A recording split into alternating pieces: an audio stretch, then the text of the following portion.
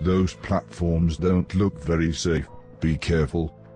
I don't know how I've managed without you.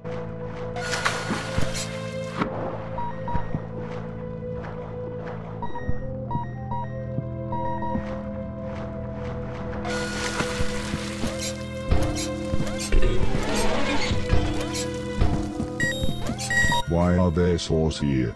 It makes no sense.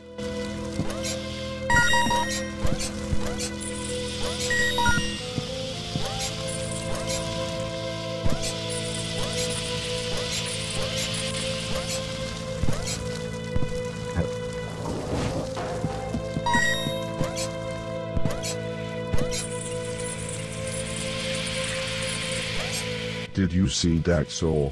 I saw the saw.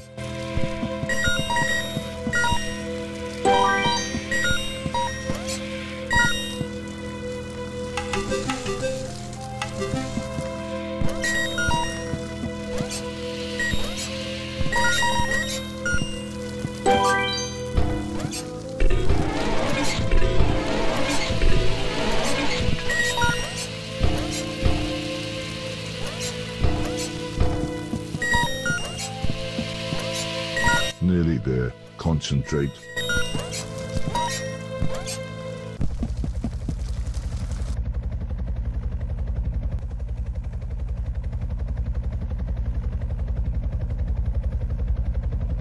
As we sat waiting for the helicopter to pass, we continued chatting.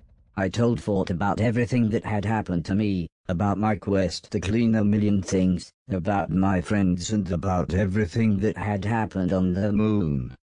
All I want now is to go home, I said. You can come to my home. Said Fort. I'm on the run but it's pretty safe there.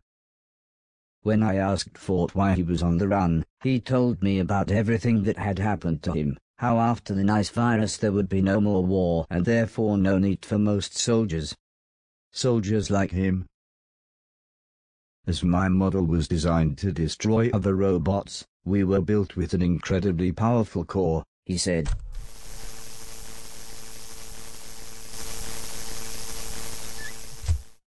There was no way to disarm us, so we were put to death. Because of our power, the only way we could be detonated was deep underwater, miles out at sea. Even then it caused huge explosions. But while we were waiting to get on the boat, I just sort of ran off.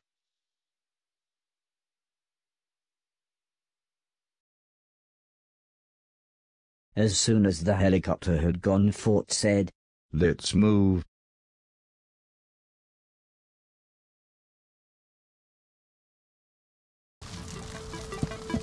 Here we go.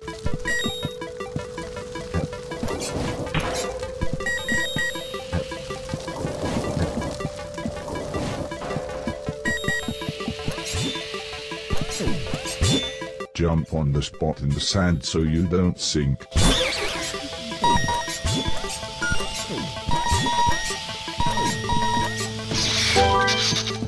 Have you got a spare rocket pack? Nice one, geezer.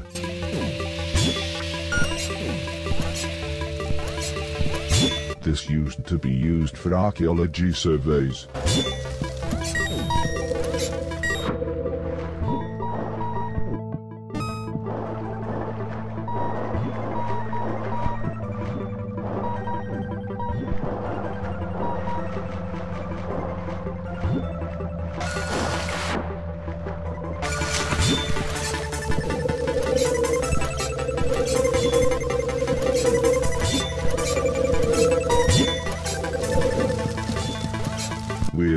Exposed up here.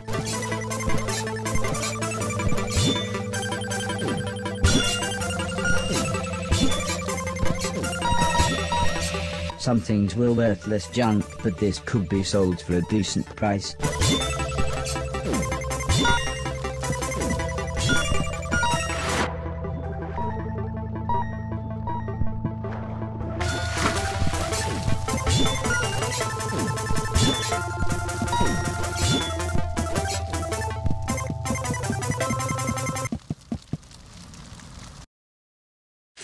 That it would be best if we waited in this building.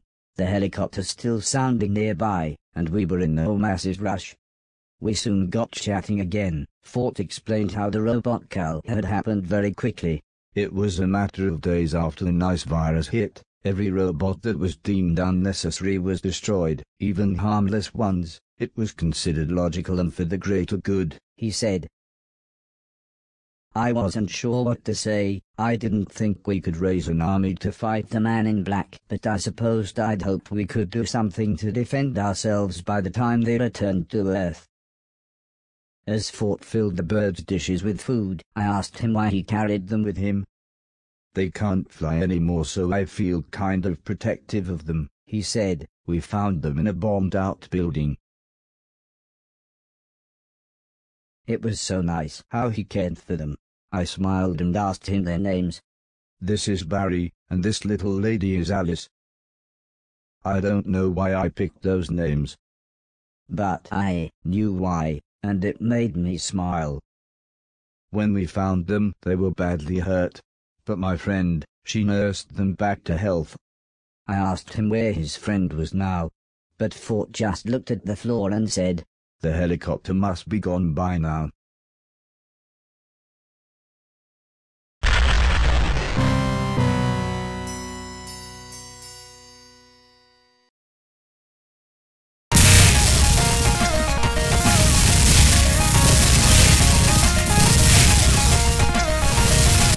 To help me take the gunship down.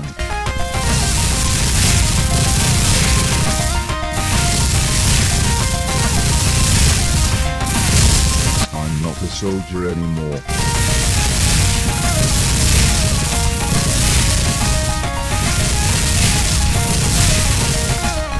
The killer instinct is still inside you deep down.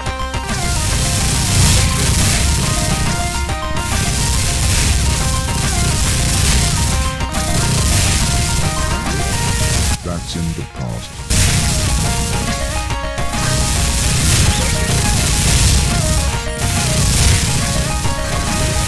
I can't do this without you. I've got an idea. Get me some fuel.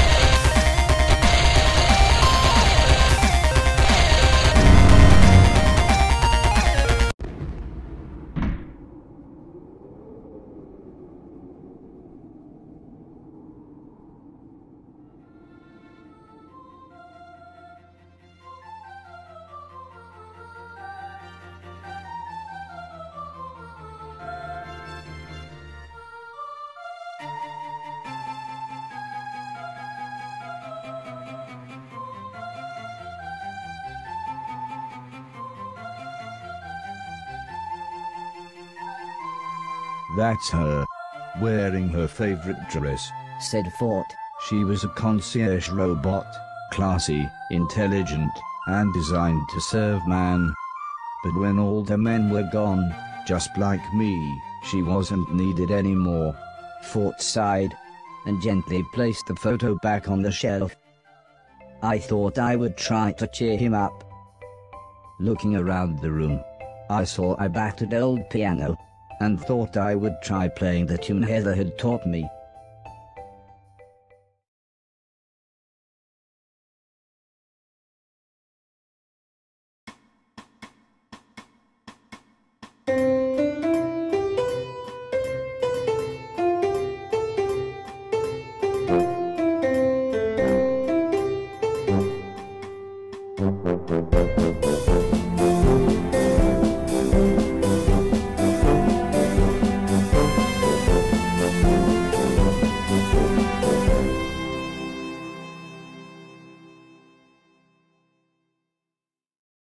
I told Fort how great I thought his house was, and I truly meant it.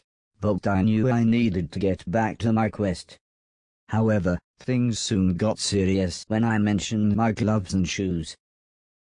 Do you mean the magic shoes of gravity defiance? Fort asked. And Atlas gloves of mighty strength. They sounded far grander when he described them, but I was pretty sure he meant the same things. The sacred artifacts, Fort said, but before I could reply he burst into an explanation about how there were certain things from some kind of half-remembered time that the robot rulers considered sacred and holy. I used to believe in it all, the words, the prophecies, I even believed in the Chosen One, said Fort. But after she... Well, I just couldn't swallow all the ghost stories and the nonsense about the afterlife. You know what I mean, buddy. I didn't know about the afterlife, or the chosen one, but I knew ghosts were real. I then began to explain how Mr. Preston had told me the story about how Mrs. Silton had told him a story about the brother of a man who works with her uncle giving a young motorcyclist a lift after a crash outside the Blackwall Tunnel. He pulled up outside the motorcyclist's destination, but when the man turned around, the motorcyclist had vanished. So he knocked on the door and an old woman answered. When he asked her if she had a son, the woman burst into tears and said I did, but he died in a motorcycle accident exactly 10 years ago, just outside the Blackwall Tunnel. And so we began a conversation that would take us long into the night. I shared the various philosophies that the old man had taught me, about life, the universe and Douglas Adams while Fort explained the robot philosophies, how there was a yearly competition to find the chosen one, how they and only they would deserve the sacred artifacts, and how they would rule the world. It all sounded so grand. But I suppose I was tired. I'd be happy now if I could just sit and play some video games. Eventually Fort stood up. Well, it's late, he said. I need to recharge. How are your batteries? I honestly had no idea how my batteries were, so I smiled and said, I'll be fine here thanks.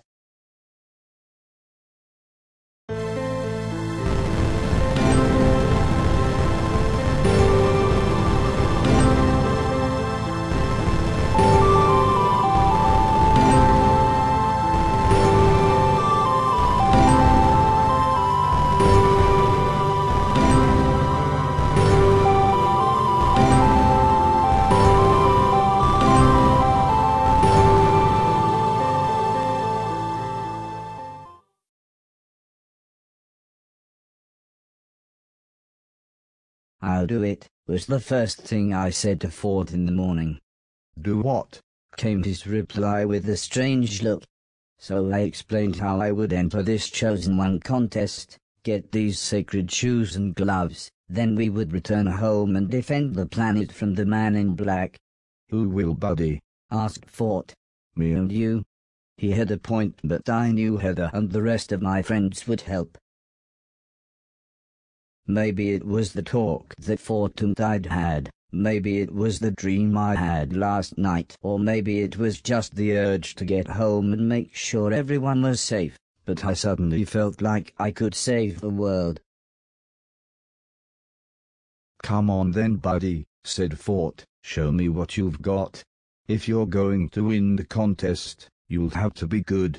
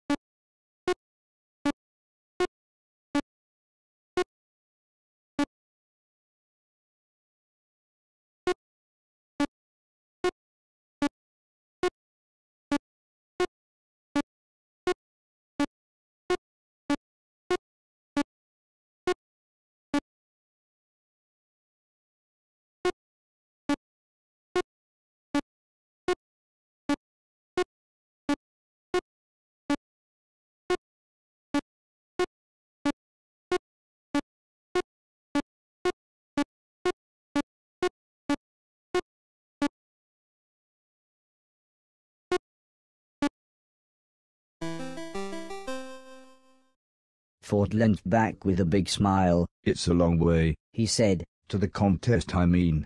It'll take us months to walk to the robot capital. We had best get going.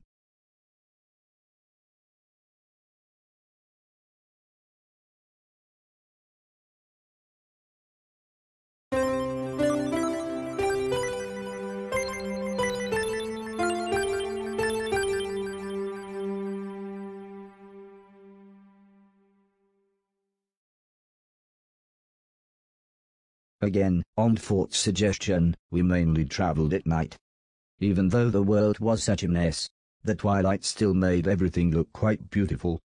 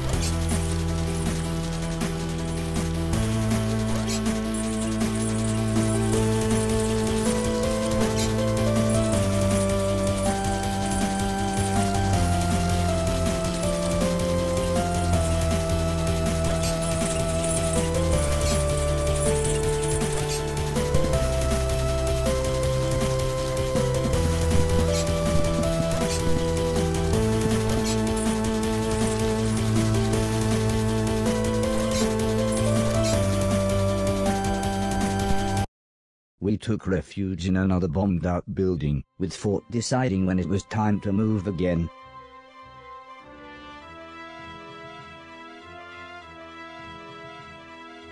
We spent the next few months traveling like this until eventually, we made it to the robot capital city. Fort had told me how the capital used to be a human city. But after the war, the robots had more than taken over. However, I didn't expect a literal cathedral of video games.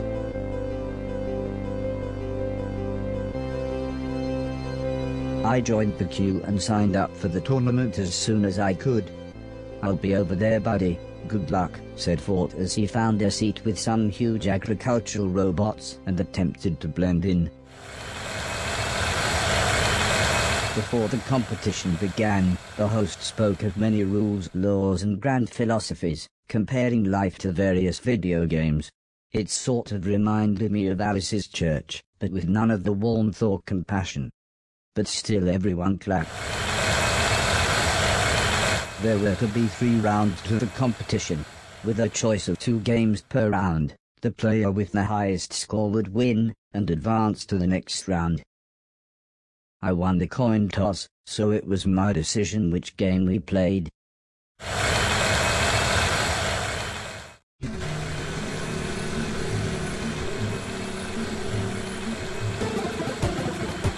Play a short song and score as many points as you can.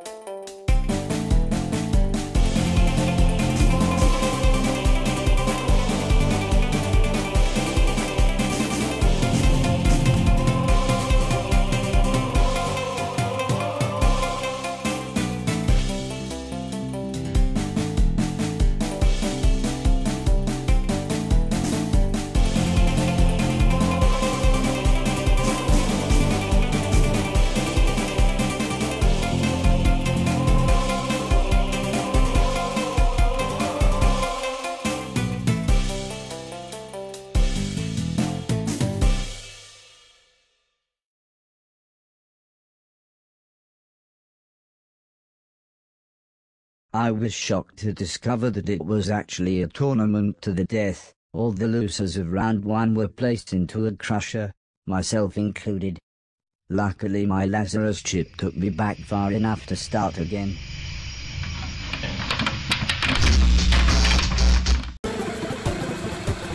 Play a short song and score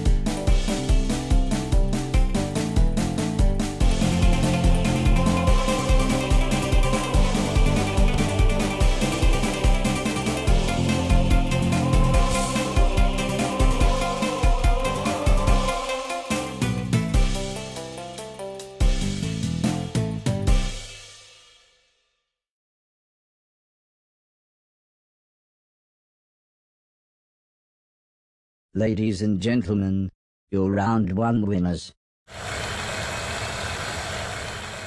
Well done, said Fort. I knew you could do it, buddy. Round one was in the bag, but now it was time to meet my opponents for round two.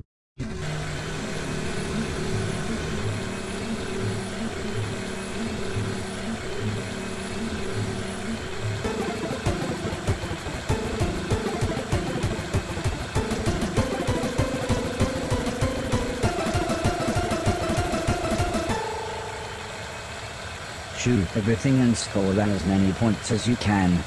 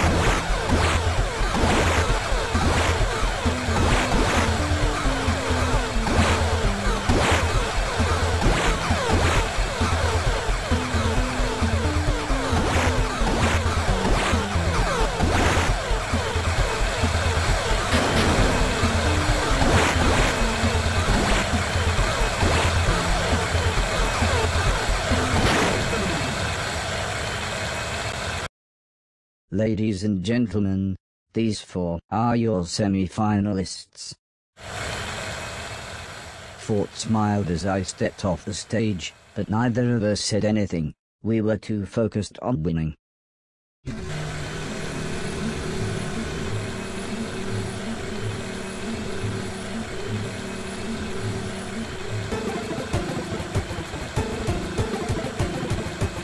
Shoot everything and score as many.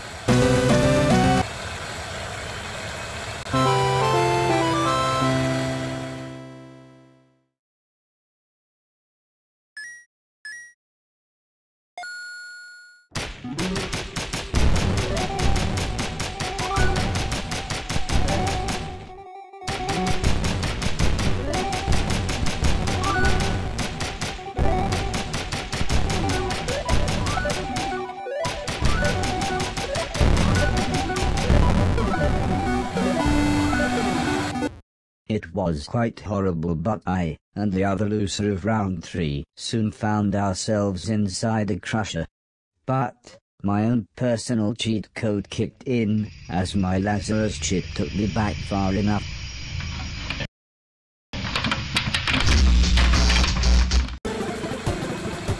Shoot everything and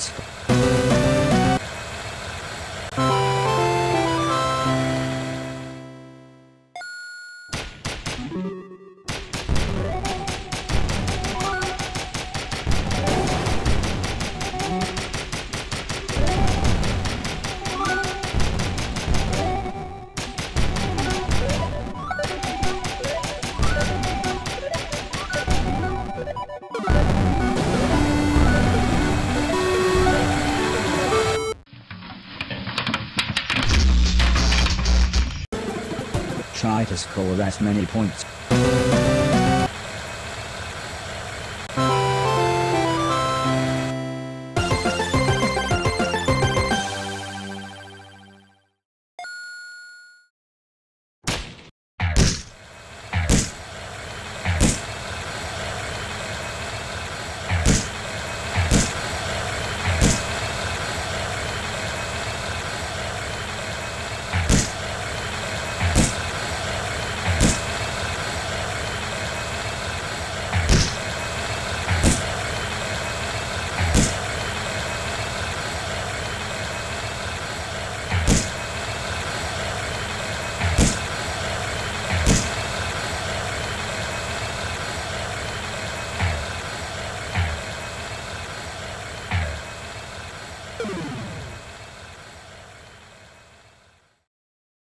So here we have it.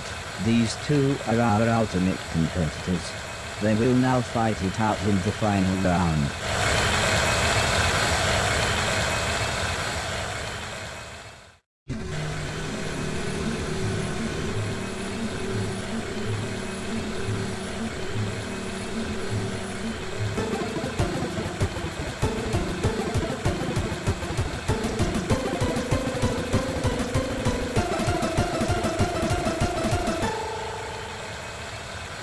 The level with.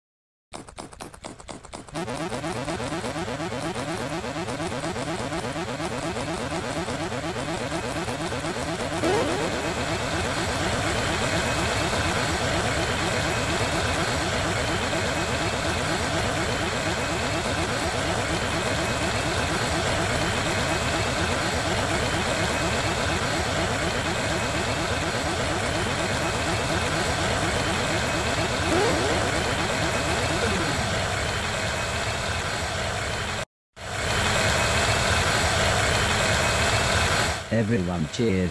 The host even declared me the winner. But then, for some reason, a videotape which contained a better score than mine was presented. I was then informed that I would have to play my opponent again, but now on a mystery game. It seemed a little unfair, but I guess it was supposed to be some kind of tiebreaker.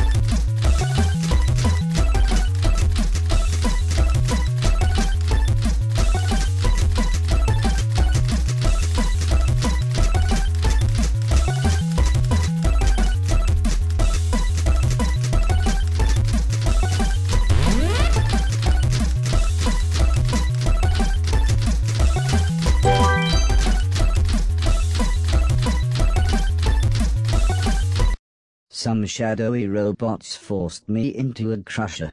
So for once it didn't feel like cheating when my Lazarus chip kicked in.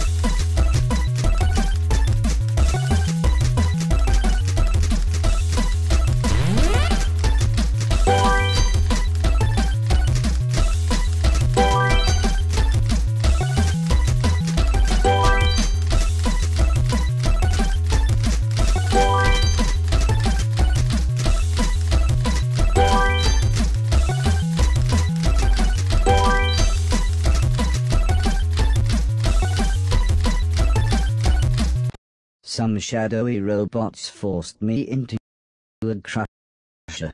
So for once it didn't feel like cheating when my Lazarus chip kicked in.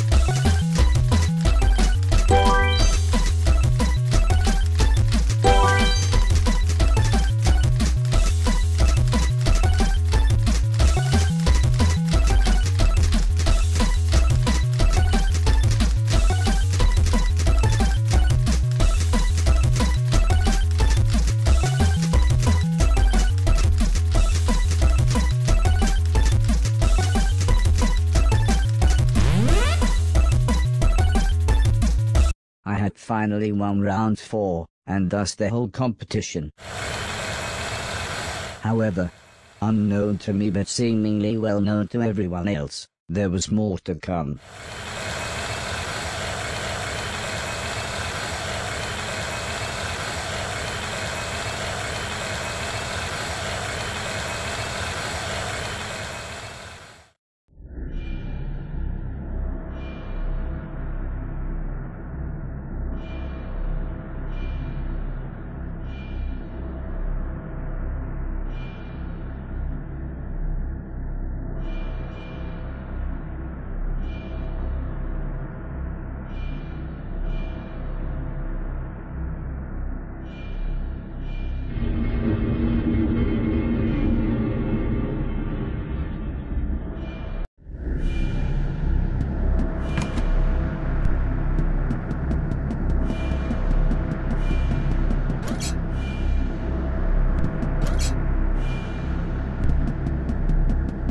As I walked forwards, I heard a voice reciting a poem. To see a world in a grain of sand, and a heaven in a wild flower, hold infinity in the palm of your hand, and eternity in an hour. Show me your mark, demanded the yellow machine. I would have done as he said, but I had no idea what he meant. The machine sighed, Your serial number. Who are you, robot? To me, the number had always looked unimpressive, but it clearly meant something to this machine. For several minutes he called me things like, the firstborn, the chosen light, the cleanser of the world, and of course, literally, the one. No matter, said the machine when he finally composed himself. Before you can take the artifacts, we must play. the game. Winner stays on.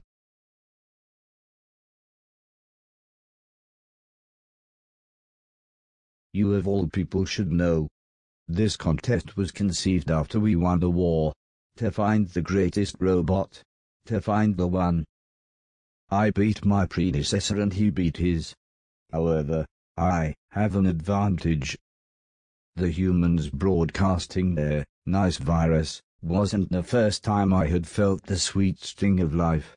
Long before then I briefly worked in a seaside arcade. However, I was recalled in 1974 when my AI was deemed too great for the general public. No one could beat me then. And no one can beat me now.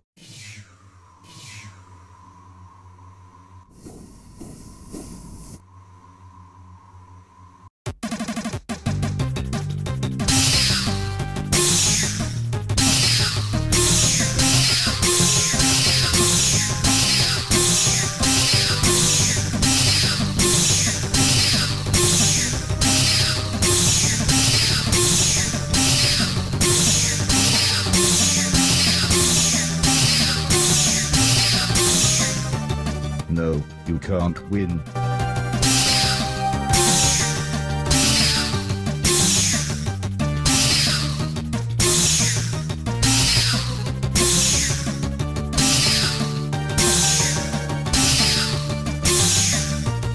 Have you got some kind of power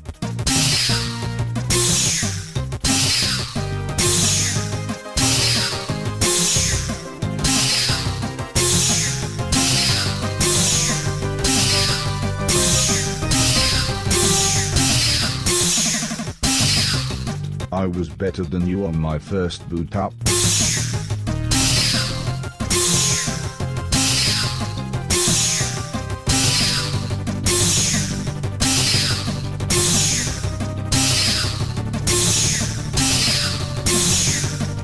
Have you got some kind of power up?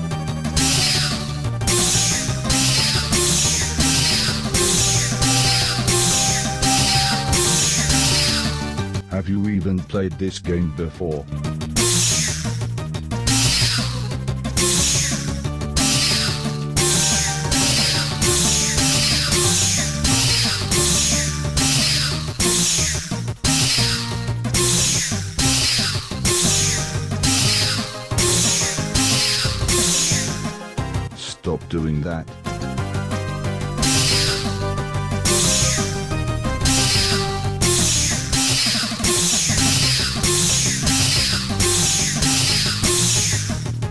You got some kind of power up?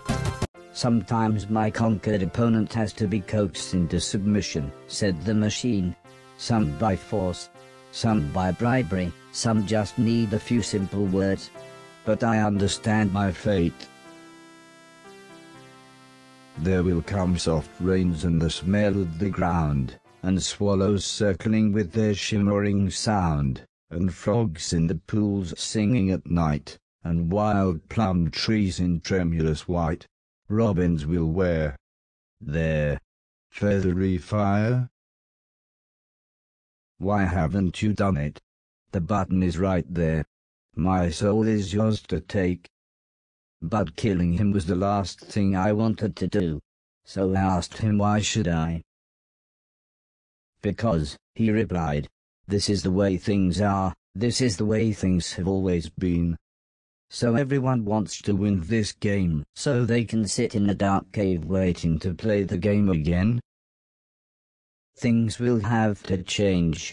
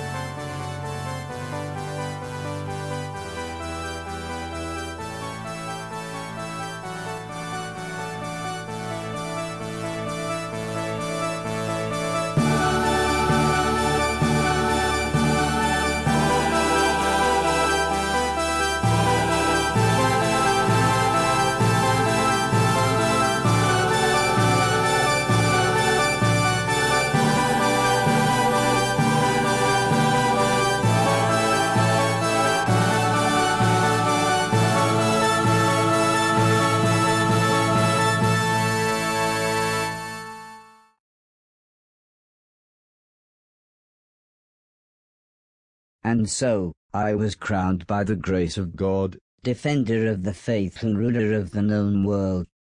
I gave many rousing speeches to my new nation, and, when I told the machine about the moon and the man in black's army, he discussed with the council of nine advisers and assured me everything would be taken care of. I had won the sacred tournament, so I and I alone had the right to wear the magic shoes of gravity defiance. The only trouble was, they didn't really work. I mean they were fine as a pair of shoes, but I could no longer run up walls. But I guess this didn't really matter anymore, as one of the many perks of being the ruler of the known universe was that I could have everything I ever wanted.